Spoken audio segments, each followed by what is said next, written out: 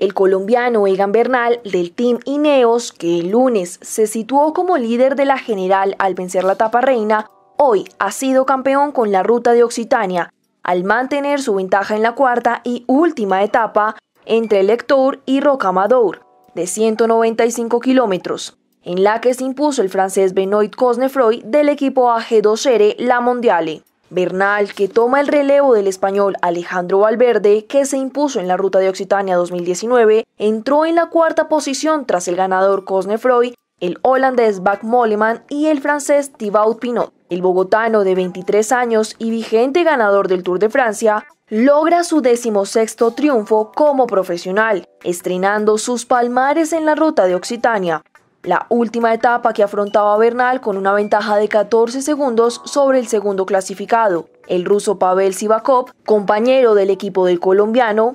Asimismo, tuvo como gran protagonista al italiano Fausto Masnada. El transalpino, que salía en el vigésima segunda plaza a 2.55 del líder, participó en la primera temprana escapada de 11 corredores, donde encontró el apoyo de su compañero alemán Greg Zimmermann. El trabajo de ambos hizo que el grupo de escapados pusiera en peligro el liderato de Bernal, al contar con ventajas de 2.50. Más nada, no creyó en su empeño de intentar arrebatar el liderato de Bernal y se marchó en compañía del también italiano Filippo Sana. El dúo llegó a contar con 2.30 en el kilómetro 161. En el pelotón, sin mucho mostrarse, el Ineos mantenía el control de la distancia para evitar sustos para el colombiano.